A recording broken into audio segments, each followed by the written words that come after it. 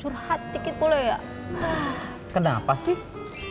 Nih, kan di sekolah mingguku ya banyak anak-anak kecil juga ya. Itu kalau udah...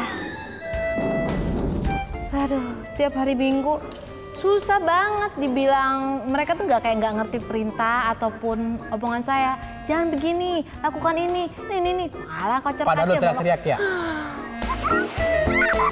udah teriak-teriak, ngomongnya kenceng-kenceng, udah sampai habis gitu ya. kan nggak boleh teriak juga ya kayak Iya, kan bilang marah-marah Ah, lagi padahal ah. bukan maksudnya marah-marah kakak-kakak pernah gitu juga gak? Pasti pernah ya. Aku tahu caranya, Oh, bagaimana cara mengamankan area anak-anak supaya tidak ke mana-mana. Oh.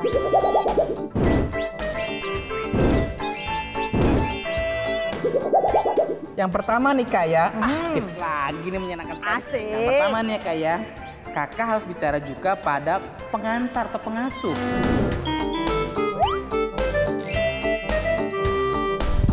Oke. Dialah yang bertanggung jawab menjaga nyanyi bareng, hafal ayat juga dia.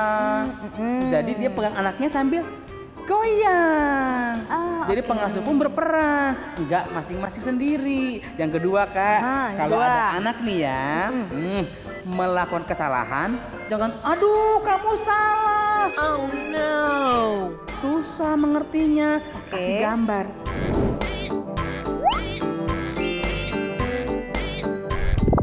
Muka sedih. Muka sedih. Kamu nggak taat nih. Kakak sedih. Dia tahu, oh itu sedih, Sedih, ya, ya, gitu. Tapi kalau dia taat, kasih muka yang menyenangkan. Yeay, kamu hebat. Kasih muka ini.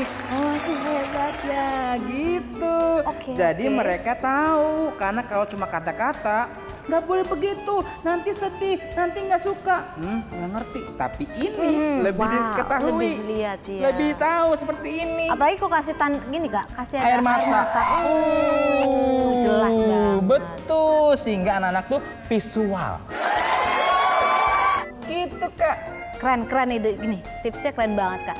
Kakak-kakak perlu coba. Nanti saya coba juga ya kak. Harus. coba.